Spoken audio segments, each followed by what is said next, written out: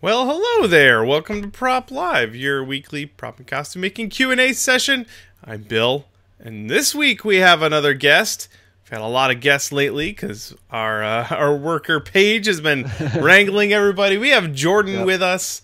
Hey Jordan, it has been a while, buddy. It has. Nice to be here. I'm excited to catch up, though. Yes, definitely. This is my this is my real trick. I do this show so that I can stay up to date with my friends who are we are all way too busy to hang out. So we'll just we'll just have you on the show every every year to get Yeah. caught up. That's what it's. I think it's been every year so far, once a year. Yep. Uh, of course, Jordan runs Henchmen Studios, a really fantastic company. You guys are up in Toronto. Yes, Toronto, Yeah. Ontario. You guys have been making some really bonkers stuff lately. A lot of stuff for Blizzard, some stuff for some Destiny stuff. I know that uh, a lot of our, uh, a lot of myself included, and a lot of our fans Yeah. done a lot of, are big fans of Destiny. Um, what have you been excited about making in the last, I don't know, six months or so? Gosh, well, what six months ago? So that was just before BlizzCon, and, and we did Moira for that. Oh, that's right. Um, so that was uh, you know another big one for us, and and a lot of fun. And we had um, a couple actually projects at BlizzCon. Um, but it's it's funny, you know, you know the life of uh, it can't. It's like the past three months. There's not really anything we can talk about. that's why. um, That's why I was asking what you've made in the last year. exactly. Um, uh, I did see. So we were at BlizzCon, and among many other things, I saw your Doomfist, which was on display, which I thought was really cool. Yeah, yeah, we actually that was really cool to see. So we because we had made two um, two Doomfist costumes originally. One went down to San Diego, one went to uh, Australia, and they were there at the same time. But when we did the, they so they had one on display at at BlizzCon, and then the other one being worn by uh, one of our awesome models. So it was definitely cool to see, and they actually ended up. Um, I know they had that on display on the Blizzard campus for a while as well. Um, That's which so cool. I happened happened to be down there uh, for a visit a couple of weeks ago or a month or two ago now. But yeah. got to see that. It's mind blowing. Now, why on earth would you be down at Blizzard? I wonder. I'm sure you can't So- talk about it, but Actually, this is one of the projects that um, has come out. oh, So, uh, if you're an Overwatch fan, you may have seen a live stream a couple months ago involving uh, 12 puppies. um, so we actually did, and uh, this all came out um, last month. So we did 12 Overwatch themed puppy costumes um, for for an Overwatch puppy brawl that was uh, they were working with a bunch of uh, shelters and you know promoting um, uh, adopting you know older dogs and, and all that good stuff. So we I yeah I legitimately had to uh, travel to LA to put costumes on puppies. That's awesome. what like uh, uh I'm trying to find the video of it. I can't find it right now. But uh what in, in what fantasy would you even imagine that being a thing you did for your job? I never could have believed it, and and even it was a last minute ask. Um, so the production company that was coordinating everything, just you, you know when when you have that many moving pieces on a project, it's just you just want someone to take care of things so you don't have to worry about them. Um, so last minute they asked if we could we could do that, and and we uh, yeah had a, had some good fun with that. That's it's pretty adorable. that's definitely the- the cutest models we've worked with for sure. That is really really cool. Um, well, I count myself lucky. I've got a chance to see a bunch of your stuff up close. Actually, just over or under a year ago, we were at PAX East. I got to uh, see the stuff you made for Lawbreakers, which was really cool. yeah. Um, funny too, the gun you made, I technically made the same gun, technically Okay. for the commercial, yes. but all I made was a very basic stunt version that they CG'd over. Yep. So the thing I made was I was done in an hour, really really fast with markers on it. Um, but I'm familiar with that gun. Yeah, because I remember um, watching that video um, with Frank and Tested and, and you down there working on those. I remember seeing that when it first came out, and then whatever a year later when we were working on those went back and referenced it and then I made that connection. It was, yeah. We had a little more time. Yeah, yeah. the uh, the funny thing, um, the thing I made, I was most proud of for that that commercial that never shows up on screen. Was it the the pistol? Yeah. Yeah, that was really cool. It looked really good. Yeah. Oh well, I got paid. That's fine. And I hope you got good photos. I got lots of pictures. That's yeah, that's what counts. I may have got a casting of it too. I don't know. Might oh, have. that's that's even better. Yeah. so that'll be on the shelf unpainted for the next five years. yeah. Three, uh, three. You've been you've been charting through a lot of casts. I have. I finished. I finished my um my M5 Phalanx pistol, which I made six and a half years ago. It's finally painted. oh yeah, that's. I still have actually um, a raw cast uh, of one of your Mass Effect guns on on my shelf yeah. above my desk that still needs to be painted. So I am also guilty of of being slow sometimes. Yeah, it's okay. That is the life the life we live. Uh, something else I've got here. Overwatch did a really cool video on you called Jordan Duncan's Hero Story. that was really cool. It, it, it's even even now hard to put into words, but just can't. Yeah, can't even understand it to this day. You know. Um, what I find is really cool, though, is that um, a, a, lot of us in this community who have kind of grown up and, and started businesses and kind of carved out our, out our own section of the, the this niche um, have grown to the point where you're hiring people. So we talked to Harrison a couple weeks ago. You've got a whole team of people now. And, yeah. and with that team, you're able to do things just just incredible things that you could never do by yourself it's so true. Um, and like like we, ever you know we have such a diverse team and, and from such a wide range of skill sets and backgrounds people from you know construction to film sets and and you know our seamstresses you know all all different fields it's crazy to see the, even the stuff we're doing now and the timelines and everything it's it's bonkers yeah from, you know from I guess what looking at this now from three years ago, I never would have imagined. Yeah, it's uh, it's kind of nuts too. There are jobs you could probably you probably had to turn down uh, a couple years ago that you couldn't do just because you didn't couldn't do it by yourself, and now you're like, yes, let's do this. You know what? Um, I can't say there is because I think I think one um, what, one catalyst to kind of I guess the opportunities we've had and the growth we growth we've had um, is I'm the type of person who will say yes yeah. and then figure out how. so even uh, kind of our first couple um, real bigger industry projects where we were mul- making multiple costumes, we had our first two at the exact same time, so we were making a total of I think 18 costumes in oh, a span man. of two months. Um, and and but immediately I was like, yeah, we can do this. And then I, you know, phone up all my friends. And, yeah. And it literally had um, a few friends living with me, you know, just from uh, lived half an hour away, but just because of how much work we were doing, they were living with me for, um, you know, a good month and a half while we were working out of back then when we were still, you know, in the basement. Um, yeah, so we just found a way. Yep. Yep. Life finds a way. That's really cool. What's been very exciting for us to watch uh, from our vantage point.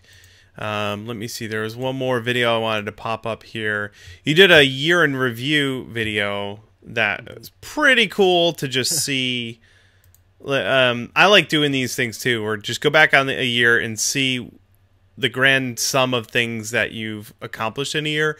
I don't know about you, but in the in the sort of uh, clutter of just constantly having things to work on, you tend to forget all the stuff that you've accomplished. And uh, so true. This is quite a highlight reel that you've got stuff from Warframe and uh, I don't even know what that's from, but that yeah. that's really cool. So good on you and your awesome team. yeah, it's I honestly can't say enough about about the you know the team we have and the people we work with. You know, we all work together. Um, it, it's one one the fact that you know so many talented creative people under one roof is is awesome, but just in terms of the camaraderie and how well everyone works together, it's it's a lot of fun. It's a lot of stress too, as everything always is. Yeah. Well, fantastic. Um, everything we've been chatting about, all the cool videos, uh, if you guys watching at home, we will link to all these in the show notes. But you can also go to uh, Henchmen Studios on YouTube, and uh, yeah, you got a YouTube page with a whole bunch of really cool videos and, and project recaps. So again, we'll link to all that stuff down in the show notes, so you guys can go grab those and watch to your heart's content, which you should. Uh, what else do we have here? A couple more things before we get rolling. Um, I always want to point out the Prop Tarts Facebook group, which is always really, really fun with lots of fun projects that people are working on. So if you have something you're asking, you want to ask questions on, or you want to get feedback on, um, look up the Prop Tarts of Punished Props on Facebook, and you can go. Whoop, you can go check that out. It's a really wonderful group. Um, just showing some of the stuff right here on the page. Uh, a huge, wide range of stuff that people are working on.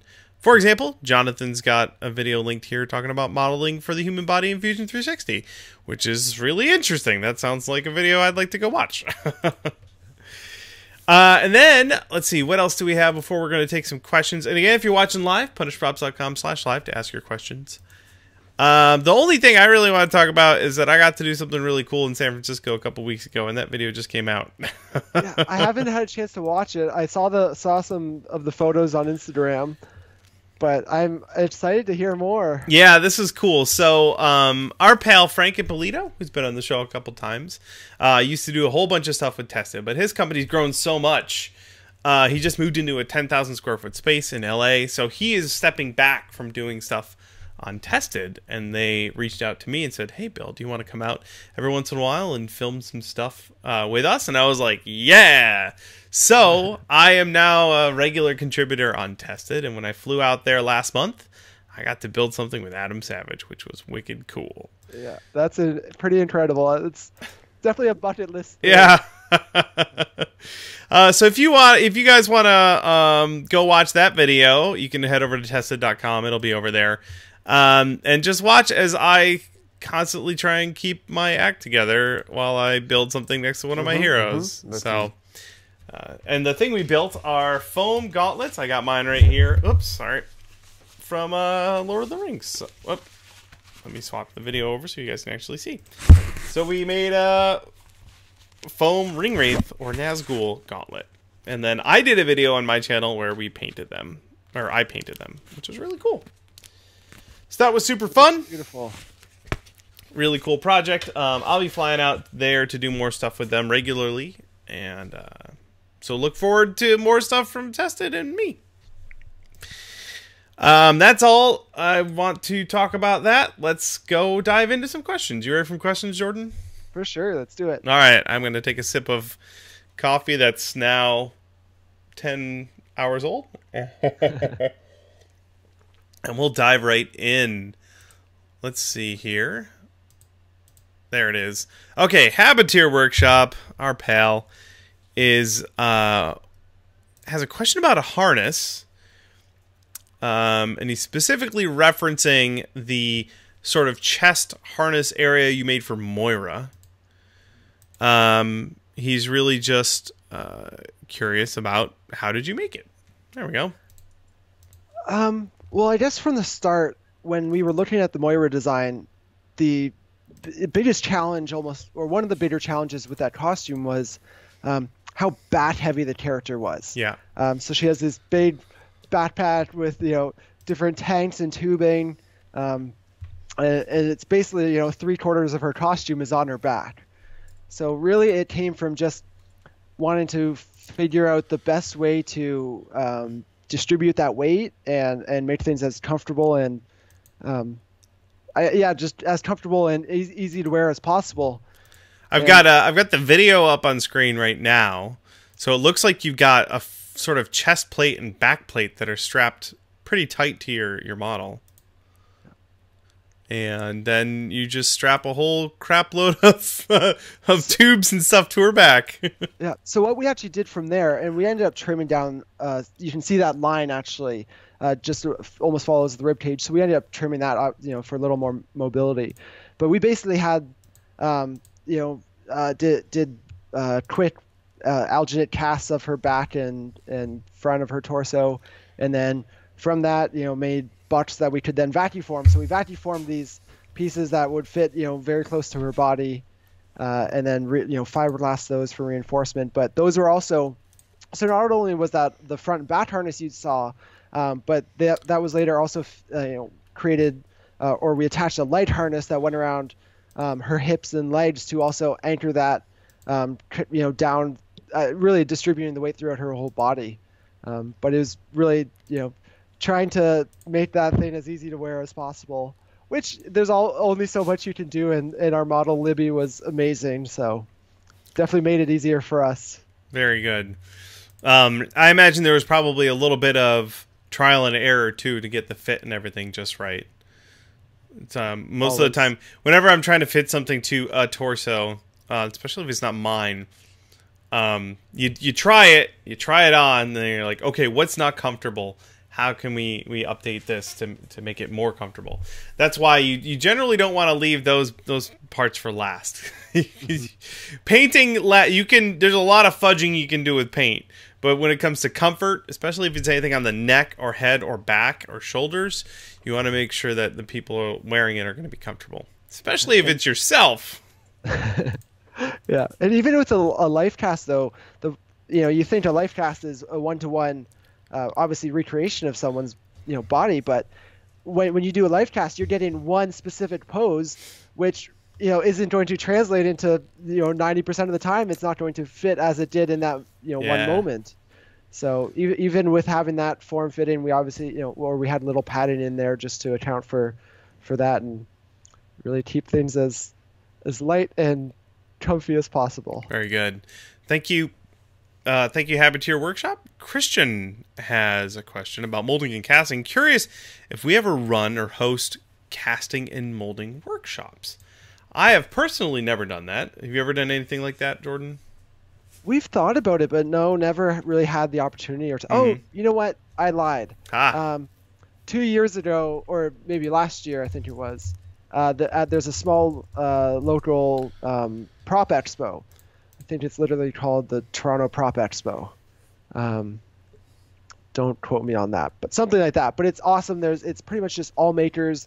Um, at least when I, you know the past two years when I've been there, they just you just say you want to go, you just show up, throw your stuff on a table to kind of show off your work. It's all you know, just makers uh, there, just showing off their stuff and, and chatting about things. So um, I did a little uh, molding and casting panel there for super quick. Um, but nothing other than that. You know, things at conventions and, and that with panels. But yeah, for us, it's. I mean, we run our, our shop out of our basement, so having um, a bunch of people we don't know over to uh, to run a, a, seminar. Not only do we just not have the space for it, but it's also our house.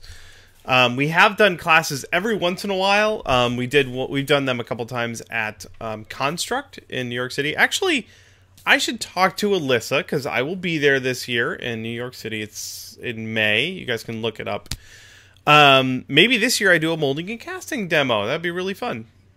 But otherwise, uh, we just don't have the space for it uh, to do it now. However, Smooth On does. We love Smooth On. In fact, there's a new Reynolds uh, that Reynolds or Smooth On, one of them owns the other one. But uh, they distribute Smooth On products, and uh, maybe I'll get to do some. I've talked to them about doing classes at their location in Kent, Washington, just south of us. Uh, otherwise, you can go to Smooth On's website. Um, they have a seminars section on the website with a bunch more information about that. And I know that they do specifically do molding and casting demos because I see them on Twitter talking about it all the time. And I'm like, man, I want to go there. And then they're like, it's in Pennsylvania. I'm like, Um, so there you go. That's that is that. But again, um, construct nerdy views will be there. Uh, he's in the chat. He says it's the last weekend of April this year. It's in New York City, and I will talk to Alyssa about doing a molding and casting demo because that sounds fun. Uh, let's see. That question came to us from Christian. Thank you very much for the question. Uh, Nick has a business question. This is good. Both you and your guests now have employees. That's right. I have an employee. I was wondering about the hiring process, uh, if there is any process. Were they simply professional relationships that evolved organically, or was there a type of application? I'm curious how you uh, approached hiring people. Sounds to me you were like, "I need warm bodies. Can you mix?" um, it's definitely for for us. It's definitely evolved. Um, kind of as we grow and our, our needs change. Um, we started off, you know, like I said, it was we had a you know big projects coming in and we needed people, so I you know called up friends who were talented and hardworking and um, that's that's how it started. And you know so there was no no process there. Um, but now recently it's you know kind of changed over the years as we've grown and kind of needs have changed. Like um, we recently uh, brought on uh, you know a, full, a full-time hire um, uh, with us he's been been with us now two weeks uh, as a 3d modeler and that was all through just job postings and doing interviews so mm-hmm. it's definitely changed but yeah.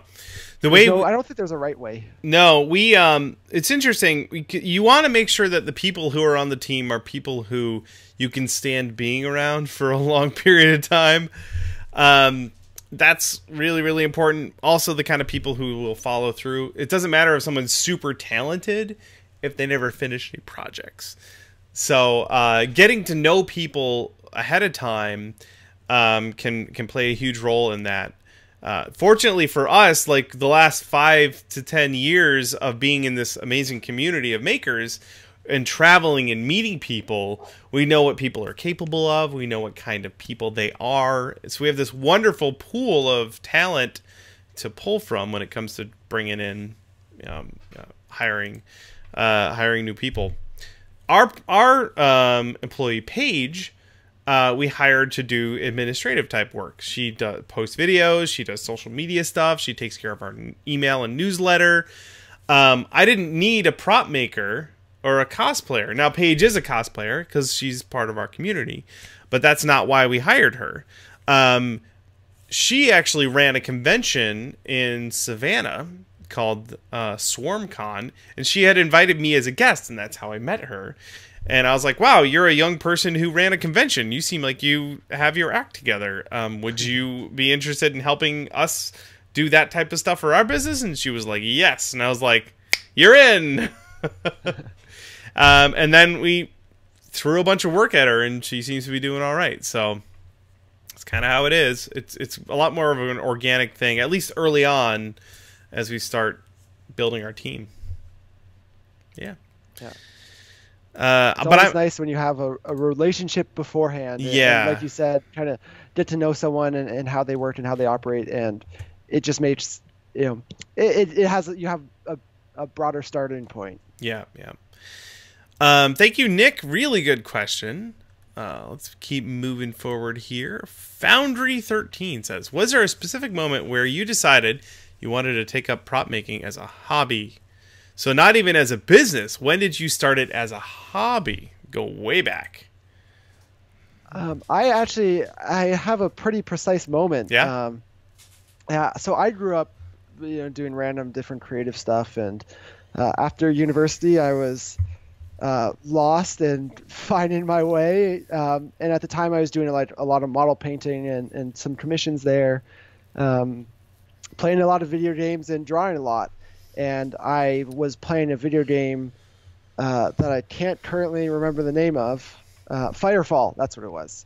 And they actually uh, sponsored a cosplayer and kind of followed along with, with some builds of hers. Was that um, Crystal? Um, it was Crystal, yeah. yep. Crystal Graziano. And that was the first time I realized that cosplay was a thing that people did and not just that you know not just that companies hired or you know bought or made their own costumes but that people did it on their own for fun. That that was my first taste and realization of that. So, um, somewhere I gotta find this real quick. Somewhere there's a picture of me with Crystal the first time I met her when she was dressed up as the character from Firefall. Yes, okay, I'm bringing this up on screen because this is awesome. I didn't know her at the time, but I was so stoked and I totally fanboyed out. Uh, I was in my Hawk costume at PAX. This was in 2012. I was like, "Oh my god, it's Crystal Graziano! High five!" And I, I, I can't get my picture taken with you. and of course, Crystal's a sweetheart and took pictures. And it was amazing. And now we're buddies. Don't worry. Yeah, I still did the same thing last year when I finally met her. Yay. That's awesome. Um, we got started. I think 2009 was when we did our first costume. It was uh, uh, Team Fortress 2, and uh, yep. we had a friend who was into anime and doing anime conventions. She was already into that scene, and she kind of goaded us into doing this thing. And when we were making, I made a outfit. I made the rocket launcher from Team Fortress, and that was it. I made a, I made the crappiest rocket launcher. I've seen a lot of people make rocket launchers from from Team Fortress 2. Mine is clearly the worst. But I made it and I was hooked. I was like, "Yes, what can I make next?" And that was that was it. It was all downhill from there. I think that's how it goes though. I I still have uh, the first prop I ever made sitting above my desk at work. Yeah.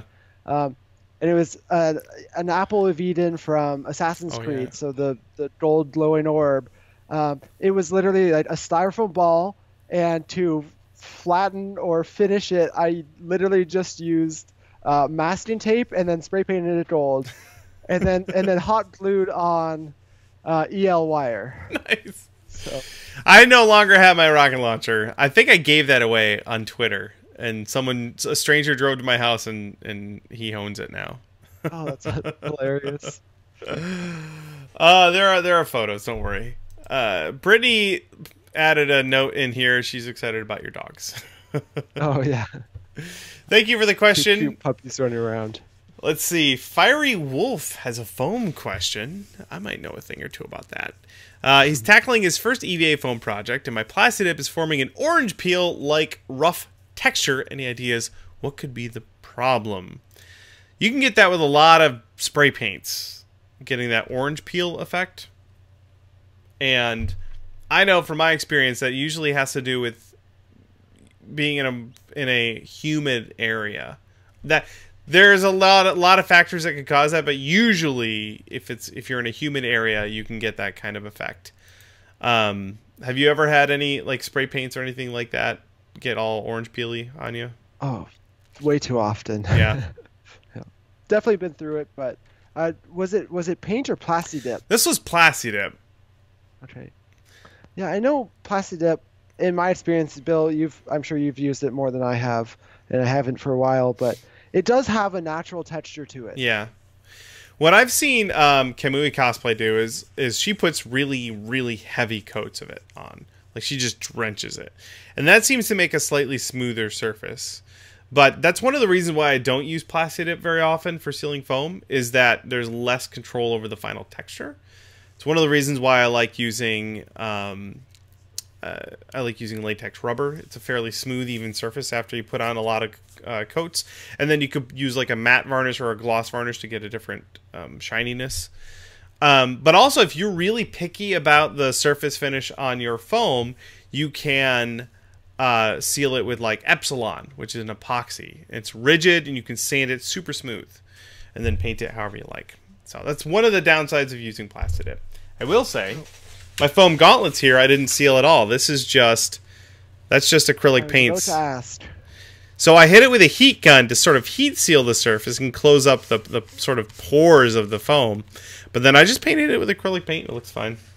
It's not perfect, but it doesn't have to be. It's a it's a Nazgul gauntlet. Yeah. So how did you do all the the ridges in that piece of like the hand That's- plates and whatnot? That's a good question. Now you could go watch the video, but I'll give you a, a spoiler. So in the back of it, I've cut V grooves and then barge them up and pinch them together, and that creates peaks. And then when you unfold it, it makes this sort of scalloped, maybe that's not the right word, but dished profile there. Yeah. Yeah, peaks and valleys. So all the way down the the edge there, you can see. Yeah. Let your seams do the work for you. I'll Um, definitely definitely gonna be watching that video right after our call. Good. I was actually, if we can go, if I can stroke my own ego a little bit. I don't know if Adam was being really, just really nice. Um, I don't mind, but he was like, "Oh my gosh, I can't believe I'm learning so much," and I was like, "Oh, stop." so maybe he was just humoring me, but I don't care. uh, let's see here. Thank you, Fiery Wolf Cosplay, for the the question, and good luck with your Plasti Dip. Let's see. Oh, another Plasti Dip uh, question from Ringleader Luna. What brand of spray paint sticks to Plasti Dip? I would like it to stick and not flake off for my Cyborg Ninja Raiden mask. Most paints I've tried stick fairly well to Plasti Dip. Yeah. Um, I normally just use acrylic paints for most things. That seems to work just fine. Are you guys mostly using acrylic paints, or, or have you leveled up to Volpin level automotive stuff? Not quite there, Yeah. uh, but using a lot of automotive stuff now. Uh, we still use, um, I would say, middle ground where we we aren't done. You know, we still use rattle cans here and there. Um, it's kind of where it fits and where it's needed, and depending on timelines and all that stuff. Um, but definitely starting to use a lot more, or we have been, you know, the past probably year or so using a lot more kind of various automotive stuff and, and all those fun, smelly things. Very good. Uh, I apologize if I was really loud, everybody. Apparently, I threw the gauntlet and uh, turned up my microphone. Should be better now. Um, yeah, so Ringman Leader Luna, for your Plasti Dip, I would just use acrylic paint. So You can brush it on, you can spray it on, you can use an airbrush. Should be fine. I usually don't use enamels because they tend to um, not be as flexible as acrylics. So, just an acrylic paints. Um, now everyone's saying I'm a little I'm a little quiet, so I can turn myself back up. There we go. Uh, thank you for the question. Next one is Brandon the Orc. He's got a question about adhesives. Have you tried the new adhesive called CosBond from Zak Labs? Um, I have not. People seem to like it really, really a lot. Have you heard about this yet, Jordan? I have not heard about it at all. If you give me one second, I have some right there. I'm gonna go Okay. grab it. All right, one second, everybody. Just gonna get the thing. In the meantime, I'm just ad- admiring the space stone wall. All right. I got some of this stuff. They sent me some. Zak Labs is local. Um and it's a it's a sheet. Sorry, I hit the microphone. It's a sheet that is a double-sided adhesive. So you peel you can cut it to shape and peel it off of both sides. Boop. They got a whole thing. I haven't tried it yet, um, just because I've been burning the candle at both ends. But uh, it seems pretty cool. Yeah. Is what's what would what's the intended application like? Um, it's like almost like double-sided tape. Yeah, um, Brandon the Orc here says that um, it's comparable to barge contact cement in as far as the Okay. strength is concerned. Wow. Um, but I haven't again, I haven't tried it yet. But the what what I what I, gets me thinking is having some of this on you uh, not peeled. So so an unused piece of this on you in a pocket when you're on the floor of a convention. If part of your costume breaks, instead of having to get glue out, you can just stick it to back to, to stick two things back together with something like this. That seems like a really good idea. use case. Yeah. Um, and you can cut it to any shape, so you don't you're not stuck with just a thin strip of tape or something like that. Um, Core Geek is in the chat. He says it's more permanent. It's very permanent bond, which is really cool. Uh, but again, I haven't tried it yet. I have some sitting right there.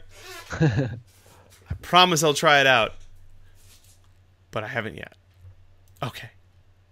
Um, and the we'll have links to that uh, Zak Labs uh, in the chat, zaklabs.com. If you guys want to go check that out for yourselves. Let's keep moving here. No Spaceship says he purchased the Henchmen Studios McCree belt buckle that was cold cast. Um, what was it? Oh, and it was rubbing against his armor, his 3D printed McCree armor, and it s- seems like it has worn through or chipped through some of the cold cast finish. And wondering if there's something you could do to repair it. That is tricky. It is um, just with the nature of cold casting. It's a thin layer um, that the casting powder is in. hmm Uh, he, I will say that he um, says he has since put padding on the armor where it was intersecting um, to keep it from scratching, which is good. Yeah. Something to think about if you have any cold cast pieces on your costume, um, any interference parts like that, you want to make sure you pad them in some way so they don't scratch. I had a, I have a cold cast Skyrim steel axe that I got from uh, Volpin Props, and it's aluminum and it looks incredible. But I brought it to a convention. They almost didn't let me in because it looks real. It looks so legit. But the whole time I was just terrified of letting it get scratched. So I don't. That doesn't leave the house anymore. yeah. In terms of, you know, not a lot of options at that point. You know, when something doesn't stretch, as as you point out, um, but some things you can potentially try are to subtly, you know, fix is if you can find a close paint that matches, whether it's a spray paint or something, and and use either a small sponge or Q-tip to even dab on some color into those areas. It might might not be a perfect color match, but it help might help hide and blend it a little bit. mm-hmm. Um, I um I was doing some cold cast stuff earlier today, and there was a bubble, like a tiny little bubble, and I, I sort of dremeled it out carefully, and then I mixed a bunch of brass powder in with some super glue, and filled the bubble. Now you can't sand it smooth, like you can't fair it perfectly, so there's always going to be a little seam where the glue went in there, but it filled the bubble. So there's a little. It's noticeable that there's something wrong there, but it's not. It's not a missing spot. Um, that wouldn't really work. You could maybe mix up some super glue and your brass powder and like brush a little bit of it on, but there's going to be a protrusion there. texture. Yeah. But I, I I will say that the super glue brass mixture can be polished nice and shiny. Okay. Yeah. I, I guess I'm curious if there's a you know, an, another possible medium that you could do that with that might settle a little more Yeah. than super glue would. I wonder if maybe you can mix up a little bit of um, epoxy putty, like um, epoxy sculpt or Yeah. something. Mix it up, mix up a little bit of it, and um, uh, mix in a lot of metal powder. You got it. It has to be a, a lot of the metal powder, because you, when you buff it, you have to make sure the surface is totally full of metal powder. But I wonder if you can mix in a bunch of that metal powder and then sculpt in that spot. Like if you, the part that's kind of worn off, you could maybe dremel that out a little bit, sculpt that in, and then you can fair the the um, epoxy putty with water and smooth it out, and then maybe buff it after that. This is all theoretical. Yeah. Exploring and problem solving. Yeah, uh, Habitier Workshop in the chat is, is recommending doing something similar, but just using your resin. Just use urethane resin, mix in a lot of powder. Um, it's worth trying. Um, maybe try it on something else before you commit to the final piece. Um, but it is possible. So good luck to you. Um, no spaceship. Actually, he sent a picture of his McCree costume, so I want to bring that up on screen because it looked really cool. There you go. No spaceship at Katsucon, and that is a really crazy, awesome looking McCree right there with a whole bunch of really cool armor Oh, that is awesome. and a really dope looking belt buckle. Very cool. Thanks for sharing and good luck on the repair. Let's see. Classy Carp is curious about airbrush paints. Do you have any experience trying to uh, dilute the heavy body acrylic paint? So we like using Liquitex heavy body paints. Um, do you think it's possible if you use an airbrush medium to thin them? I tend to get airbrush paints for my airbrush and heavy body paints for hand brushing. How about you? What, do you have a favorite airbrush paint? Um, we use a lot of Createx, Mm-hmm. so their their Wicked Color line, uh, sorry, the Wicked Colors line in particular. But but I would agree, um, you could probably thin the heavy body stuff down enough, but it might not be recommended or the best option.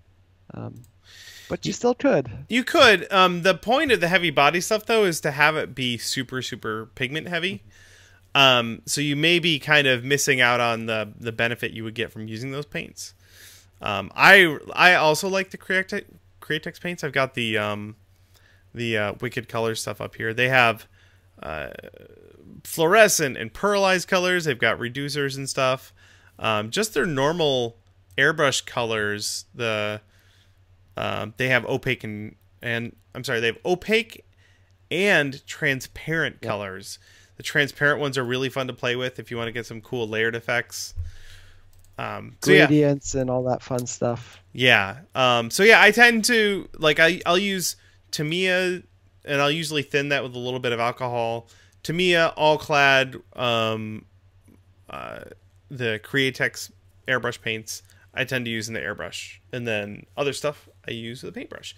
This my gauntlets that I made uh, were all done with the heavy body paints and a paintbrush. And you can't see any brush strokes. I did uh, three layers of paint and took my time, and it looks uh, nice and nice and smooth. So there you go. Do you have a favorite, uh, like brushing paint? Um, we use a brand. Probably the brand we use most actually is is the name of the brand is Golden. Mm-hmm. Yeah. Um, so we like their stuff. It, they actually have, I think, our favorite paint from them too is they have a amazing bronze Ooh. that goes on very nicely. Um, we actually use it for gold a lot because it, it, it reads very gold, but has almost a darker um, shade to it. So that that we use a lot, and it's again being able to brush it on and you know have two coats to get you know full coverage on gold is you know very nicely, or or even one if we're weathering something. Is enough. Right. Um, is that would that be their heavy body paints? I don't believe so. All right. Um, I you're the second person today to tell me that they like golden paint, so I'm like, all right, I'll try them out. Um, a buddy of mine had a T-shirt. I think he like went to if they have a store or something. He went there, or maybe you can get these on their website. He had a T-shirt that was color swatches of their paints, and it was white, a bunch of white squares with um, dabs of actual paint on the T-shirt. Which is really, if you can get a color Yeah. sheet, I have one for the Nova um, acrylic paints. If you can get a sheet with the actual colors on them, a lot of times you can buy these for from from paint companies. That way, if you're ordering paint, you can look at this sheet in whatever light you have and tell what it's going to look like because the your computer screen lies like Yeah. not accurate. Um, if you can get a T-shirt, that'd be even better. I'm looking at the Golden website. I'm like, hey, can I get a T-shirt? That way it's always on you. I know. Which color do I need? Uh, that bronze looks really good. um, I'll have to dig around. I kind I forgot about that shirt. I really want one. That's my one of my art professors from college had that. Uh, thank you, Classy Carp, for the question. I'm sure somewhere in there we answered your question. Sam has a question. Uh, have you ever tried using a hot wire cutter for EVA foam? Uh, I I have not. Have you ever used one of those for cutting like um like styrofoam? Yeah, we used it for styrofoam and expanded polystyrene, but never for EVA. Right. Um, my thought is, al- I mean, I love my bandsaw. I have three bandsaws, and that does the trick. so I just use that, and it leaves a very nice, very clean cut. Um, I'm not saying that a hot wire cutter won't work, but I have a guess that the cut surface is not going to be super smooth and clean. Just guessing. Also toxic. Also, it's melting EVA foam. So, so if you have three bandsaws, is there one that is your primary one? The other two are collecting dust, or do you No. use all three? I use all three. I have Jabba Really? the Cut. My big green one is Jabba the Cut. It's got a, a like a five TPI wood cutting blade on it. So if I'm cutting wood or um, big things, just just removing material, I use that. It also has a 14 inch throat, so I can cut bigger things on it. My smaller one uh, is a nine inch bandsaw, and it has a metal cutting blade on it. So if I'm cutting aluminum or if I'm cutting foam, I'll actually use the metal cutting uh, blade because it's not as rough. It makes a really nice cut. And then I have a horizontal metal cutting bandsaw that is really good. You can it's got a clamp so you can clamp in like a bar of metal and then leave it running and it the gravity pulls the blade through it Oh wow. for making perfect 90 degree cuts. Um, it's technically a metal cutting bandsaw, but it'll cut anything you put in it, so it's pretty handy. I don't use that one very often, but when I need to use it, it's great. That's awesome. Yeah, I know I'm I know I'm spoiled. Before anyone in the chat yells at me, I know I'm very spoiled. But if you can get a third bandsaw, then I say go for it. Old or odd man, odd man out props says his bandsaw is named Ryobi Wan Kenobi. oh gosh, that's that's awesome. That's amazing. uh, thank you for the question, Sam. Uh, Corium9 has a question. He says, I was watching the last time Henchmen Studios was on the Q&A. He's curious if Jordan ever got a critter gun. Oh. Did you ever pick one of those up? I did, and I have since broken it. oh, no. How'd you break So- it? Um, I don't know. I don't know exactly how it happened. I don't remember, or um, I wasn't there. But basically, the the metal tube that inserts into your mason jar that you screw on that broke off. Oh. Um, so it no longer pulls paint, and uh, I've been meaning to get a, a replacement. Either looked at for a replacement part or uh, get a new one, but I really we've been we have a bunch of um, HVLP guns now and a bunch of like uh, kind of mid-sized touch-up guns as well. So between that, it's really haven't had the need Yeah, I guess yeah. lately. Yeah, the uh, the critter gun is awesome for uh like so I'll use it for latex, but I'll also throw Yeah. paint through it if I just need to like shotgun a lot of paint and I don't want to thin it because the nozzle on that thing is like it's like that big. Yeah. So if you just need a ton of paint to go in that direction, um, you can totally use that. But I've used it less and less now, and more mostly just use it for latex. And I have my airbrushes and a small detail gun for doing paint. So, yeah, if you're not spraying latex, you probably don't have a good reason to use it. But I like latex, so I use mine. Yeah. Uh, do you have a, a metal lathe? I wonder. We don't. Oh. Um, no, we don't have a lathe at all. Oh. is- I was gonna say you could just make a new that tube. It would be super easy to make. Yeah, no, that's been um, something that has always been something over for the past couple of years that I've had in the back of my mind. Um, but we have the the you know on, on one hand limited space, um, even with our shop space, um, and then also we have uh, a couple of shop neighbors who have one has a metal lathe and one has a, Oh. one that they use for wood. So Nice. if the need what if and when the need arises we can always uh, poke them and call in a favor so Yeah. it's allowed us to put off getting one ourselves I bet you could 3D print that part.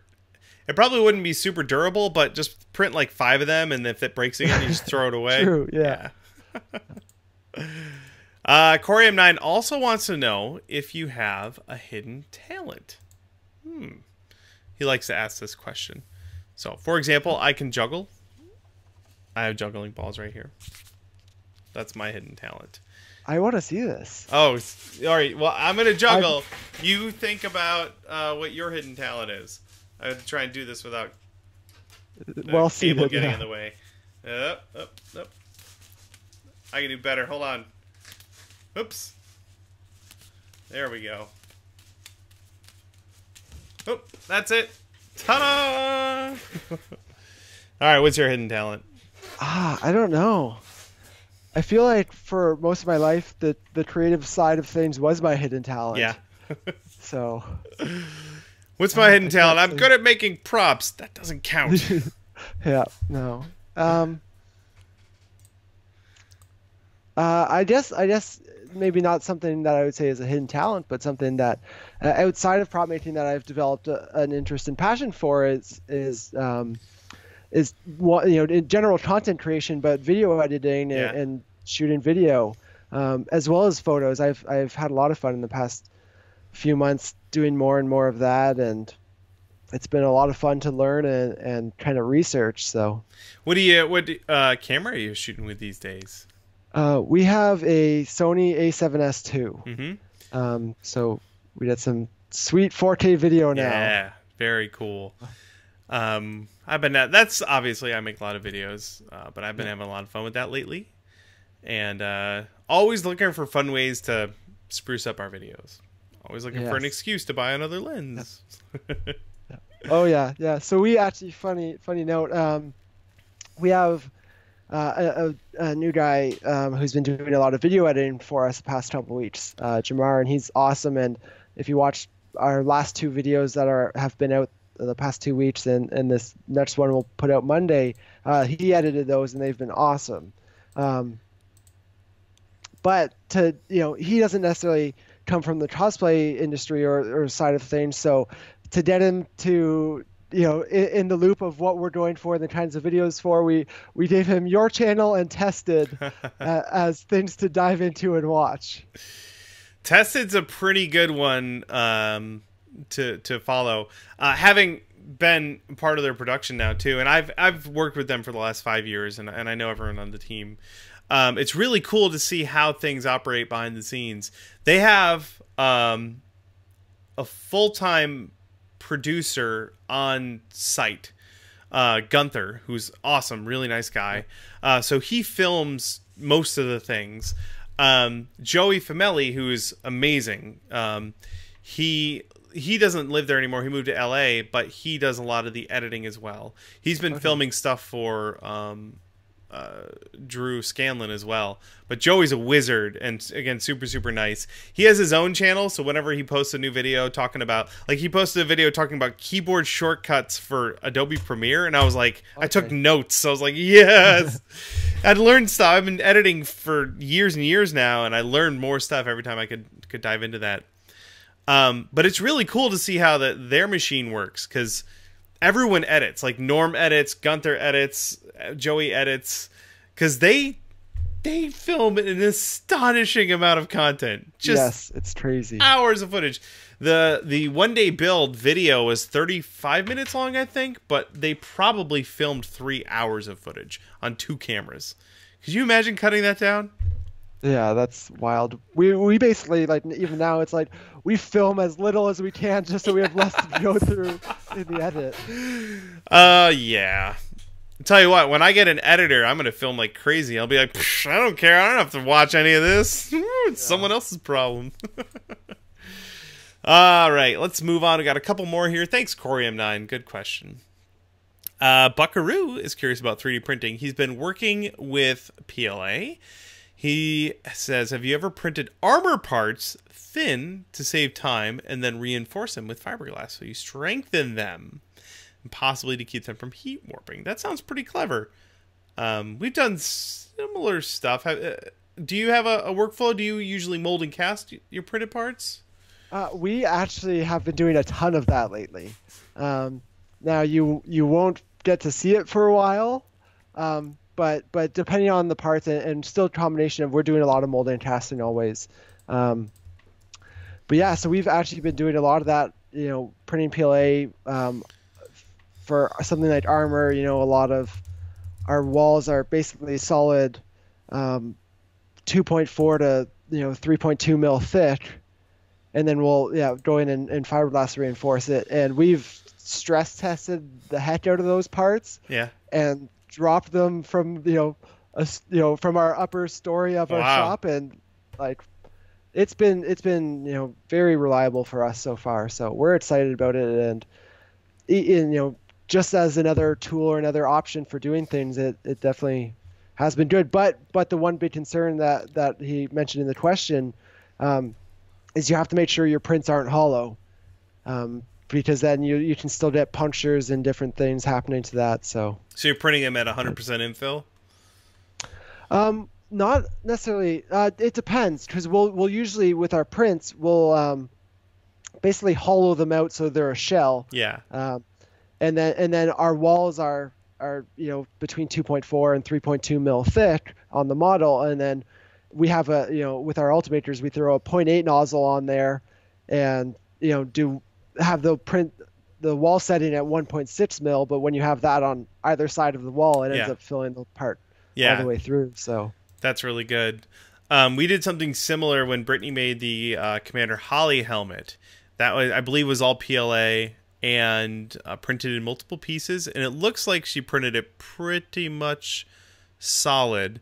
Uh, glued it together and then fiberglass the inside of it. Um, mm-hmm. And that seemed it felt we did not drop it off of anything, but it seemed like it was pretty solid. yeah. We did the same thing for the Reinhardt helmet, and that, that seemed pretty good too. Um, yeah. I will say, yeah. careful leaving it in a really hot car. That's all I'm going to say about that. Mm-hmm. PLA likes to melt. yeah. Uh, thank you. Good question. Lots of great questions today. We got one more, or two more, because uh, Brittany added one. Diesel says, uh, "What are the, or are there any recent techniques or products that you've recently discovered that make you go, what is this devil magic? How did I not know about this before?" I have a good one. Okay. There, I have lots of these rulers, these see-through rulers that are awesome, right? But what happens is I will use them with an X-Acto knife and just carve the crap out of the edge. They get ruined. They make these with a piece of metal in the edge to use as a straight edge. Okay. I didn't know that until I was at Adam Savage's shop, and he's like, "Yeah." so I bought a bunch of them. There's a bunch of stuff I bought after visiting his shop. I feel like it's a constant process of learning new and exciting things and then finding ways to incorporate them into your workflow. Mm-hmm. Um, I guess I guess the one thing that pops to mind isn't necessarily a uh, tool or material, but a technique.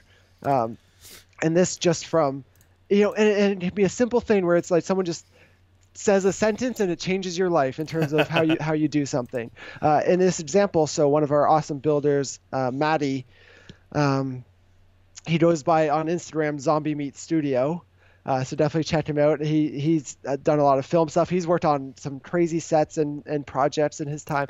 Actually, he worked on um, the big Gore Magala at Frank's shop. Yeah. Uh, a couple years ago. Awesome. Um, so and, and, it was just the tip he gave was just in regards to masking and taping, um, just to prevent um, I, you know any tape or paint peeling as you're going is just to de- detach all the tape by you know regular painter's tape by just like putting it on your pants, like ripping yeah. a strip, putting it on your pants, then peeling it off, putting it down. Uh, it it still has you know stayed well and stitched well, but then like it has cut down you know our our you know paint peeling issues from like whatever small percentage it was to zero, which is great. That's awesome. It's funny too. I I first saw that technique when I was working on the Lawbreakers costumes in Frank's okay. shop. Yeah.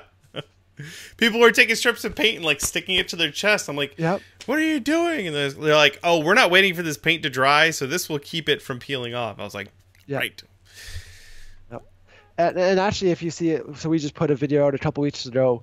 Um, I was painting uh, a Destiny helmet, and I used that for it, and and exactly that. It let the workflow be ten times faster because I was, you know, laying on paint, hitting it with a heat gun to make it uh, kick fast, and then immediately putting tape on, and, and no issues. That's awesome. It's mind blowing. That is really cool. Uh, thank you, Diesel, for the question.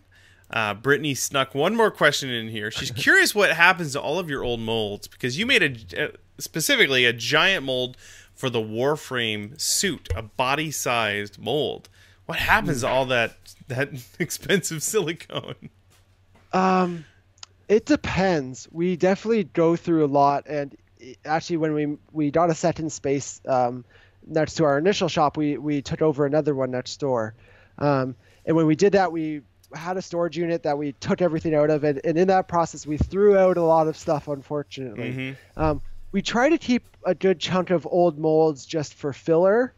Yeah, you cut but, them up and throw them into your molds. Yeah, but unfortunately, it, it was so hard for me to go through. And our team will attest. I was breaking down. I was like, I don't want to throw this out. One day I want to cast this for myself. Yeah. So so we'll keep it. But at a point, there's just this is never going to be used again, um, and you just have to have to. It's heartbreaking, but you have to part with them sometimes. Yeah, um, just because you're you're paying for the storage space. So mm-hmm. we are um, currently shop shopping. Quick update, everybody. We don't have a shop to move into yet, but we're working on it.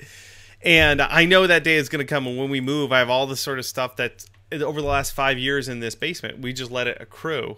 Um, and I'm like, it's fine. I'll totally use that someday. Absolutely. and uh, I won't. I'm lying to myself. When we move, I'm going to have to make some hard decisions and be like, Bill, be honest with yourself. You're never using this again. Throw it away. Yeah. So molds either become filler for new molds Yeah. or It's the great circle even- of life. a lot of molds will use if the if it's like a big flat one, we'll use the back of it for either mixing bondo on Yeah. or body filler or uh, you know when we mix up super glue and baby powder, so they'll become pallets and for different things sometimes. But There you go. Get the most out, the most out of it, but sometimes things just just get thrown away. Um, hey, that is the end of the questions. And Prop Darts, you guys are awesome. Thank you so much for bringing so many great questions. Uh, Jordan, thank you so much for hanging out with us for the last thank hour. for having me. It's always a pleasure. It has been great uh, getting to catch up with you. I think the last time we hung out was at BlizzCon, which was awesome.